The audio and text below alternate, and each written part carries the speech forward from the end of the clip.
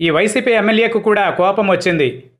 ఆయన పాయకరావుపేటకు ఎమ్మెల్యే ఒకటి రెండు కాదు మూడు సార్లు గెలిచి పేటకు నేనే రాజకీయ మేస్త్రి అనేశారు. పూర్వాశ్రమంలో ప్రభుత్వ అధికారిగా పనిచేసిన గొల్లబాబురావు నాటి కాంగ్రెస్ మంత్రి కొణతాల రామకృష్ణ ప్రోత్సాహంతో పాటు వైఎస్ఆర్ చలవతో రాజకీయాల్లోకి అడుగుపెట్టారు. ఫస్ట్ ప్రయత్నంలోనే ఆయన పాయకరావుపేట నుంచి ఎమ్మెల్యేగా రెండు వేల తొమ్మిదిలో గెలిచారు. పాయకరావుపేట అప్పటిదాకా టీడీపీకి కంచుకోట. అలాంటి సీటును గెలుచుకుని బాబురావు గ్రేట్ అనిపించుకున్నారు. ఇక వైఎస్ఆర్ మరణంతో ఆయన జగన్ వైపునకు వచ్చేశారు. తృణప్రాయంగా కాంగ్రెస్కి రాజీనామా చేసి జగన్ పార్టీ తరఫున రెండు వేల పన్నెండు ఎన్నికలలో గెలిచి వచ్చారు. ఇక రెండు వేల పంతొమ్మిదిలో మూడవసారి గెలిచారు. ఆ విధంగా సీనియర్ మోస్ట్ నేతగా అనకాపల్లి జిల్లాలో ఉన్న తనను కాదని మంత్రి పదవి జూనియర్లకు ఇచ్చేశారని ఆయన మండిపోతున్నారు. తన మంది మార్బలాన్ని తీసుకుని ఆయన ప్రభుత్వ సలహాదారుడు సజ్జల రామకృష్ణారెడ్డి వద్దకు వెళ్ళి మరీ విషయం చెప్పేశారు. తన బాధను కూడా చెప్పుకున్నారు. జూనియర్లకు పదవులు సీనియర్లు చేసిన సేవలు త్యాగాలకు అర్థం లేదా అని కూడా వాపోయారు.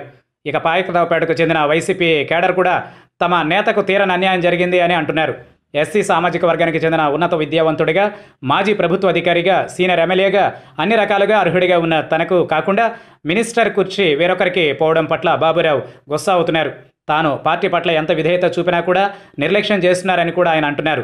తాను ఇక మీదట కేడర్ కోసం నిలబడతానని మెత్తగా మెతకగా ఉండనని కూడా బాబురావు అంటున్నారు. అంటే ఒక విధంగా హైకమాండ్ మీద ఆయన యుద్ధం ప్రకటించారనుకోవాల్సిందే. తనలో ఇప్పటిదాకా మంచితనాన్ని చూశారని కూడా ఆయన చెప్పుకొస్తున్నారు. అధినాయకుడు జగన్ సైతం తన పట్ల నిర్లక్ష్యం ప్రదర్శించడాన్ని తట్టుకోలేకపోతున్నానని ఆయన ఆవేదన వ్యక్తం చేస్తున్నారు. మొత్తానికి పాయకరావుపేటకు చెందిన బాబురావు కోపాన్ని ఎలా చల్లార్చాలో హైకమాండ్కి పాలుపోవడం లేదు. న్యాయంగా ఆయనకు పదవులు ఇవ్వాలి. కానీ ఎక్కడో ఈక్వేషన్స్ తప్పాయి. మరి బాబురావు ఇదే తనకు లాస్ట్ ఛాన్స్ అన్నంతగా ట్రై చేశారు.